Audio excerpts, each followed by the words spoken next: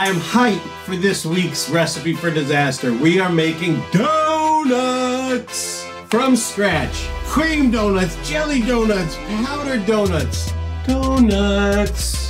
For the last 20 years, all I've done is run a record label and sit in music studios and never stepped in the kitchen. But since the pandemic, I've been learning to cook a little bit. On Recipe for Disaster, I have 24 hours to learn a dish. The following day, I step in the kitchen without the recipe in front of me and try to remember it from scratch. Oh, this is hard. There's a lot of rules and regulations in this one. Heat the evaporated milk to 115 degrees. If the milk's evaporated, you what are you heating? What are we talking about here? There's no way I'm remembering all this. Cancel this episode for a sec. Time out. Ladies and gentlemen, today we are making donuts. Before we get into anything else, dough takes two hours to get right. So we're gonna start with the dough, then I'm gonna move on to the creme and the fucking jelly. You're gonna wanna start with See, this is the problem with this whole recipe. It's a lot of different steps. Your yeast, your evaporated milk, which I had never heard of till yesterday. Hmm. Hmm. I'm already forgetting how this starts. Bear with me. Who knew donuts were so hard to make? The dough, I think I'll be able to get. Sugar, granulated milk, and the yeast is first. Granulated milk? I also might be not doing this right or something. Is that how you're supposed to do it? Uh, nope.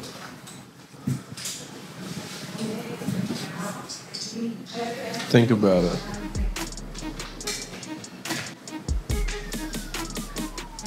Three fourths of a cup. Wait, is it three fourths of a cup? One third of a cup of sugar. Almost caught myself slipping.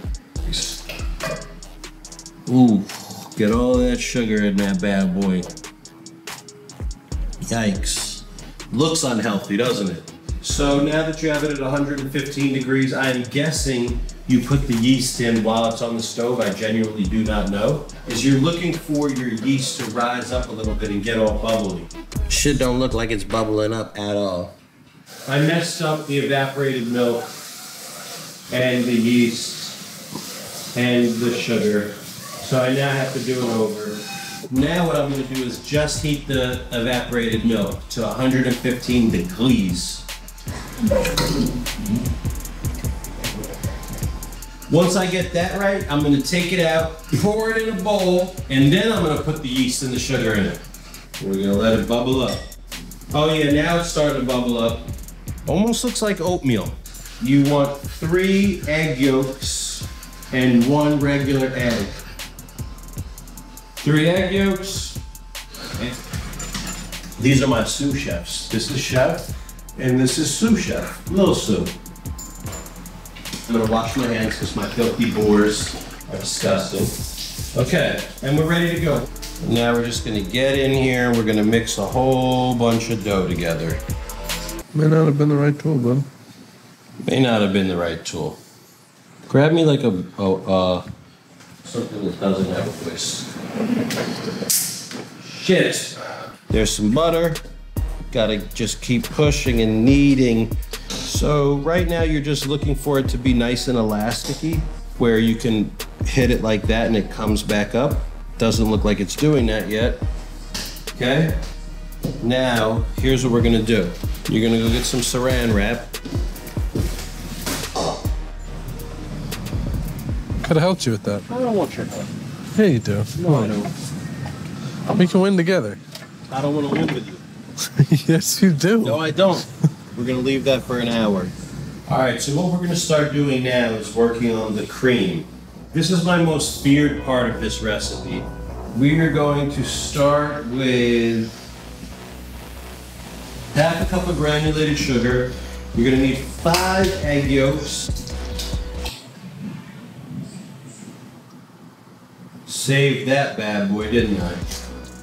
Two and one fourths cup milk. Transparently speaking, I have no clue what I'm doing, and I hope I'm doing this right. So, Make sure it's airtight. better. Sure. I thought fucking saran wrap is supposed to stick. Now I'm doing it a different way. Now, one thing I read is you do not want to allow that to sit at all. So try not to break the cream as you're making it. You know, the cream breaks when it gets too soggy. Now it's getting nice and thick. That's exactly what you want right there. Just put your butter on in there. Two teaspoons of vanilla extract. That's a nice creamy texture. You see that?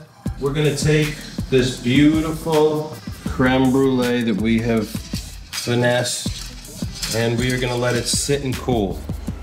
Zung donuts. Okay, put it all the way till it's touching the cream. That's what you want to do.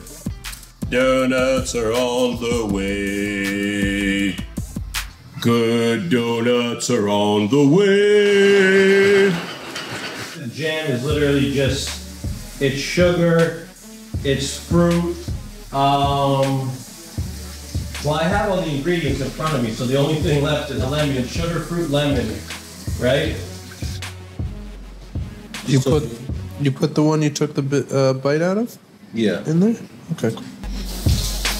because I have no clue what I'm doing on this side of things. I'm just gonna pretend like I do. Half a cup of sugar. Oh, that looks healthy. And a little bit of lemon juice. Two tablespoons worth. What do you think? You think I'm bugging? Think I'm doing a good job? Be honest. Me? Yeah.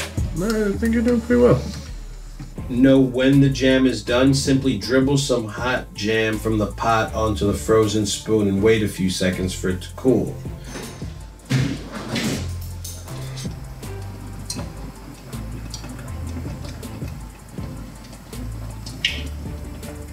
Oh yeah. Oh yeah, you see that? It's a nice thick substance. See what you're looking for on the frozen spoon is that when you put this in the fridge, is it gonna freeze up and lock up the right way? I know the answer is yes. Okay, we're good. Oh, and look at this nice, look at this nice dough that's gotten big. Look at that. It turned into turned into challah bread. I still don't have a dough roller. So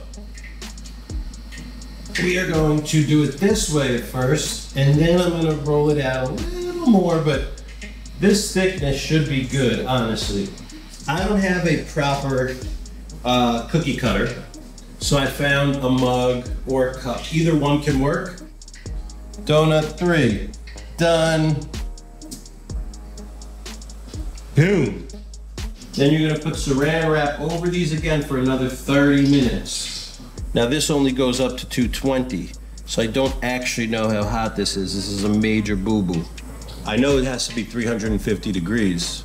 So I'm gonna use one of my leftover donuts to see how this does, and I'll know if this is right or not.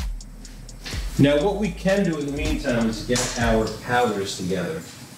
Where did the cinnamon go from today? Yeah, grab that, thank you.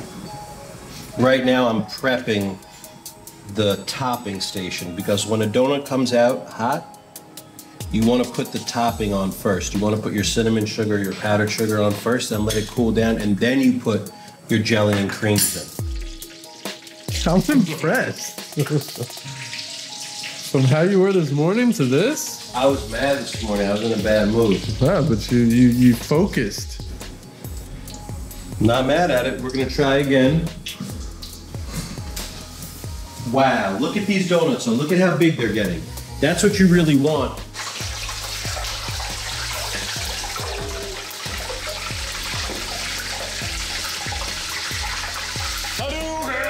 Cook these for three minutes till 46. He's doing math and cooking. Holy shit! Never thought you'd see the day. huh? Mm, Definitely not. They smell great too. Yo, we're at the finish line, bro. No distractions. I know what one text message could do to your life. What I say? I'm waiting. Yeah, baby. Yeah, baby.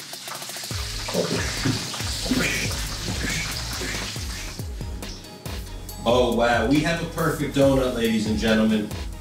Yo, Combs, you gotta feel good about this episode. We started off nervous. We didn't know if it was gonna be good or not. Look at the greatness we've created. You have your cream. This is where shit gets really real. Stuff around, you, you push it this way, up, down, around. Okay?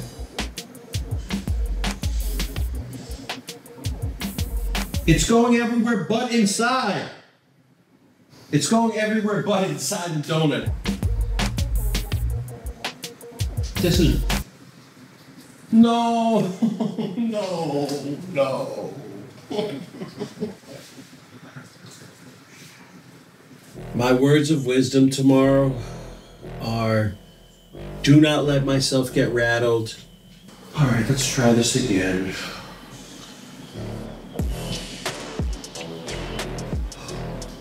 Bro, why didn't you tell me the bag was open, yo? You're really trying to play me right now. Another donut is ruined! Bro! I can't do it, honestly, I can't. I, I, I'm trying a different way. I don't want to do it in the bag.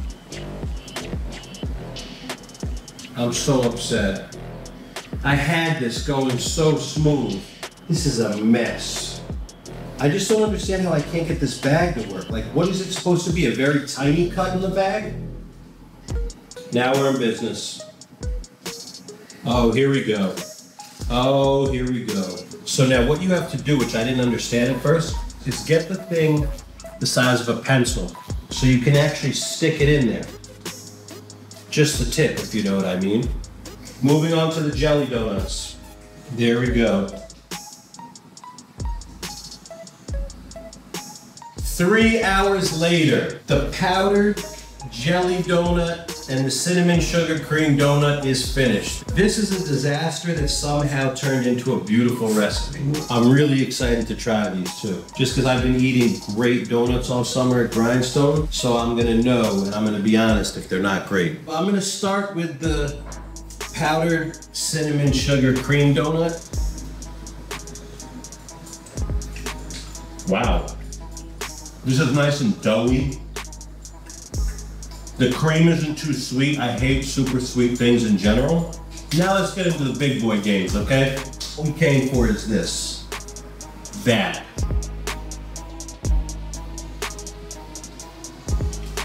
Oh yeah. This is great, but there's not enough jelly in it. But I didn't throw my jelly away yet. Very good for a home cooked donut the first time ever, that's what I'll say.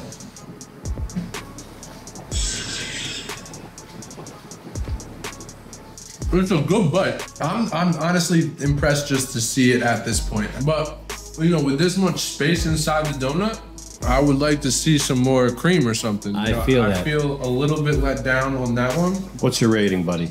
I'm gonna go right in at a six. It was a rough day in the kitchen at first. Didn't feel I was gonna get it, but somehow, through the grace of wanting a good donut, we made it happen.